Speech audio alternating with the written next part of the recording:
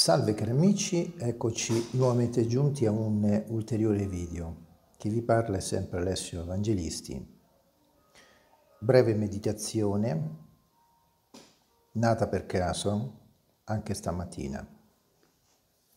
Niente, stavo mm, sfogliando un pochino il nostro calendarietto e per aggiornarlo al giorno 20, oggi è 20 marzo 23 quando nel giorno 17, che è questo qua,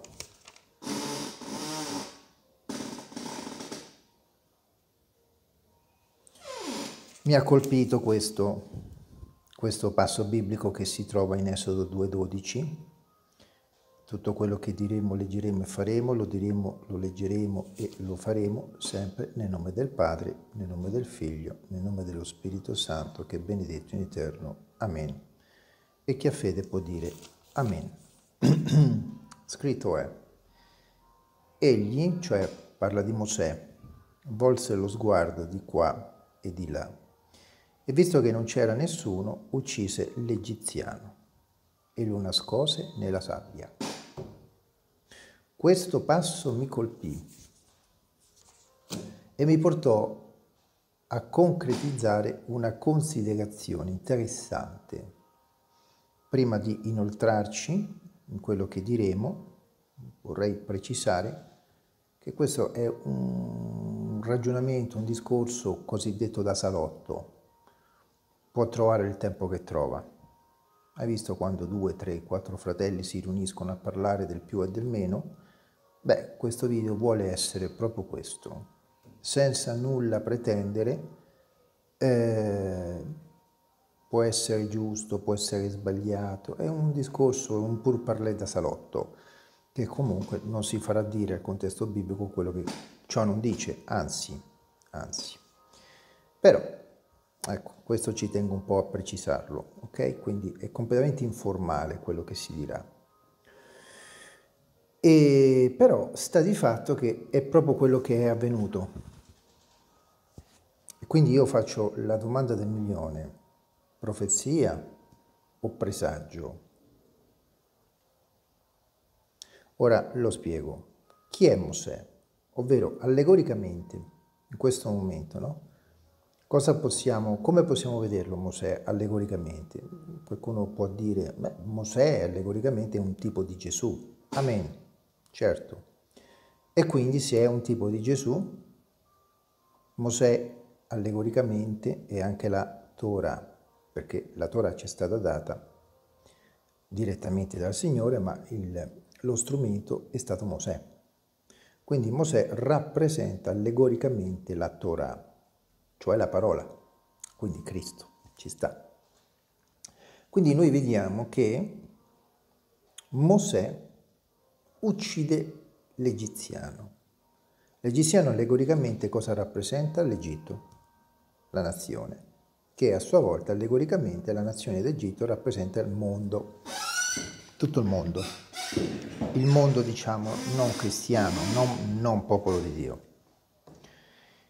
E a un certo punto vediamo che la storia ci racconta, e qui entriamo nella storia, non è allegoria, è un dato di fatto, che Mosè prese questo egiziano e lo uccise poi lo insabbiò, lo nascose nella sabbia. Interessante questo. La sabbia rappresenta tante cose, tante cose insomma. Rappresenta gli uomini, gli uomini non salvati però, eccetera, eccetera, eccetera. E che cosa è successo dopo? Che così come Mosè, che rappresenta la parola, la Torah, uccide l'egiziano, molti anni dopo circa 40 anni dopo, è quello che succederà. Il Signore, tramite Mosè, distruggerà l'Egitto. Interessante.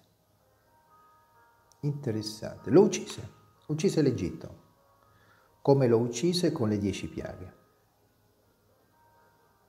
E siccome non gli bastò all'Egitto, quello che ricevette, il castigo che ricevette per indurire il proprio cuore, con le dieci piaghe, alla fine fu ucciso proprio dall'acqua, dal mare. E questo allegoricamente rappresenta molte cose. Coincidenza o diocidenza? È un dato di fatto, è successo. Interessante. Vogliamo spingerci ancora oltre. Di questo ne abbiamo già parlato.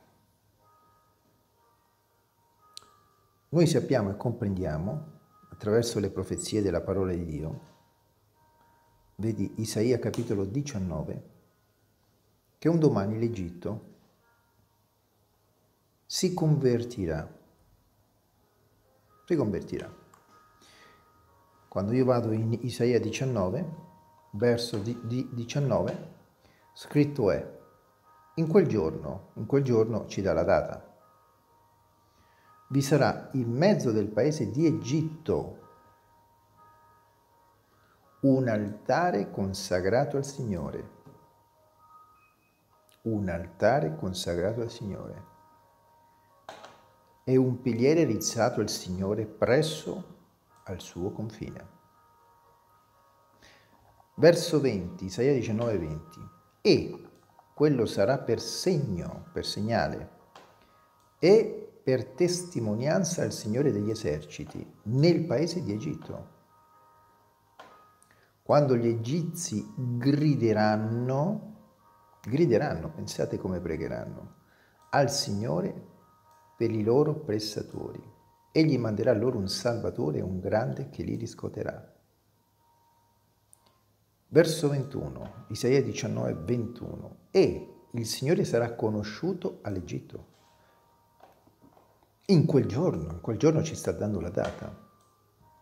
Gli egizi conosceranno, conoscere, fare un'esperienza, yadà, dat, conosceranno il Signore e faranno il servigio di sacrifici e di offerte, faranno voti al Signore e li adempiranno.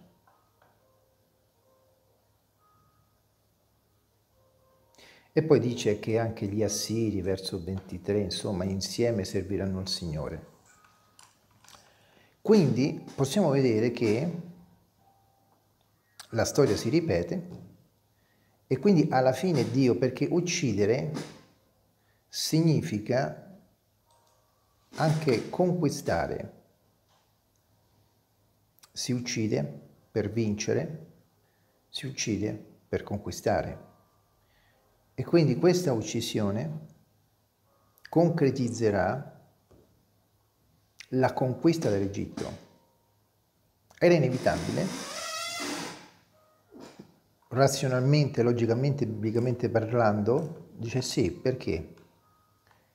Perché l'Egitto a sua volta, la, la nazione di Egitto, rappresenta il mondo allegoricamente. Quindi se Gesù Cristo tornerà come vincitore, non più verrà la seconda volta con l'asinello, cioè come re di pace, ma verrà come guerriero con il cavallo per vincere. E verrà per conquistare il mondo e instaurare il, il suo millennio, la sua epoca millenaria. E quindi è inevitabile che anche l'Egitto si, si converta in quel giorno, ma qui a quanto pare la scrittura ci sta dicendo che qualcosa succederà prima di tutto questo. Perché noi comprendiamo che nel millennio non ci saranno guerre e quant'altro, quindi questo succederà prima. E quindi come il mondo si, si deve convertire, tutto quanto a Cristo, o con le buone o con le cattive, come dirà appunto Zaccaria, che chi non servirà il Signore non pioverà su quella nazione, tanto più l'Egitto. Che l'Egitto è stata terra, una terra importante perché ha ospitato un po' tutti i personaggi principali, cominciando dai patriarchi Abramo, Isacco e Giacobbe, ok? Abramo fu ospitato no? dall'Egitto Giacobbe, Giacobbe addirittura vi stanziò negli ultimi anni della sua vecchiaia, sino a condurre tutta la famiglia. E poi ospitò anche il Cristo stesso. Quindi questo fatto, no, che noi leggiamo nella scrittura Mosè, uccise l'Egizio,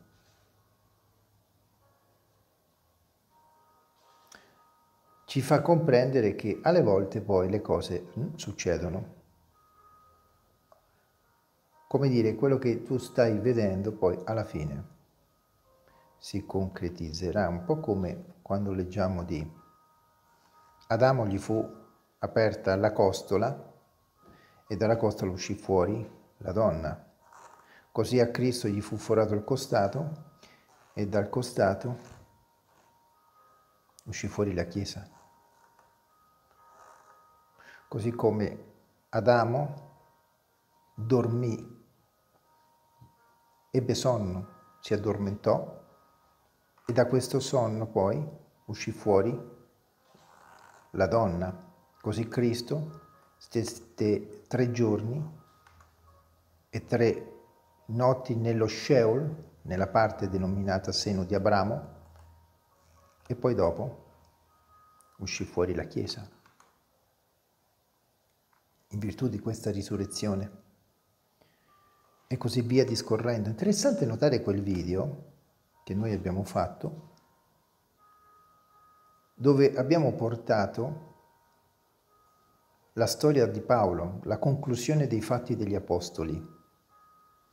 La conclusione dei fatti degli Apostoli recita che Paolo, l'Apostolo, colui che portò l'Evangelo ai gentili, perché come Pietro fu istituito dallo Spirito Santo apostolo degli, dei circoncisi, così Paolo fu istituito dallo Spirito Santo apostolo degli incirconcisi, dei gentili.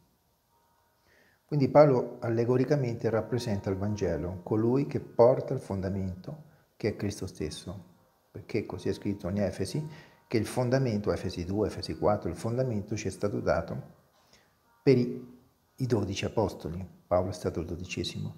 È scritto che questo, questo Paolo è stato incarcerato a Roma, fu reso prigioniero.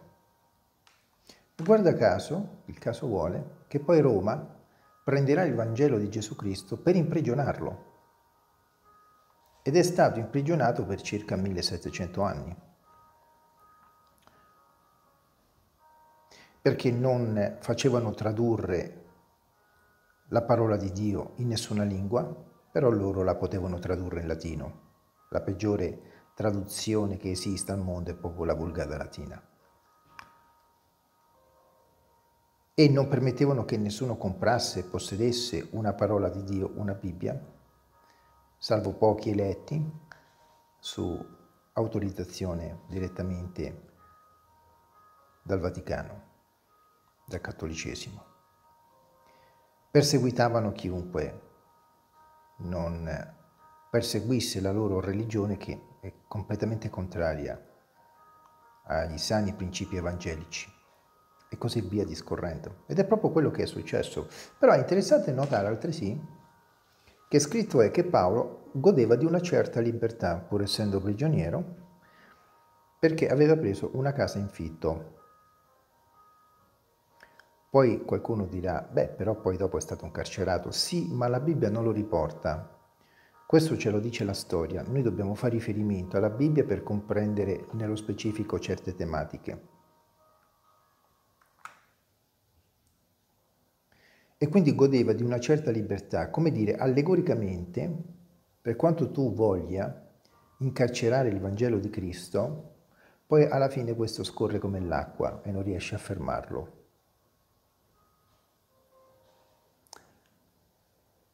È un dato di fatto, questo è successo. È successo nella parola di Dio perché è scritto ed è successo nella storia perché è storia. Prova a dire che non è successo. Neghi l'evidenza. E quindi a volte noi leggiamo determinate cose nella parola di Dio.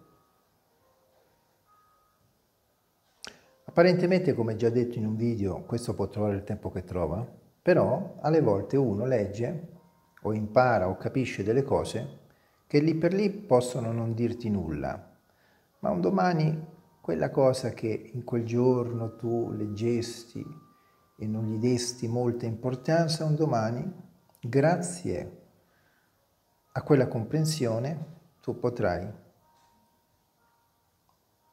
trovare la chiave di lettura per comprendere un passaggio estremamente importante che ti servirà in maniera determinante. Niente, una piccola chiacchierata fra amici, fra fratelli,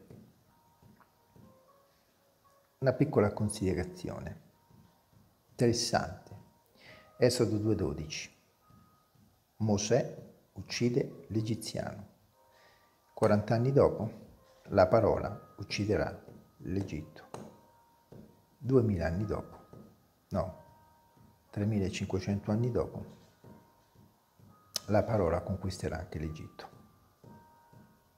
E poi tutto il mondo. Alleluia, gloria a Dio. Viva Cristo. Sorridi che Gesù ti ama e ti vuole salvare. Con voi, come sempre, è stato Alessio Evangelisti. Se il Signore vorrà, ci si vede al prossimo video programma. Shalom.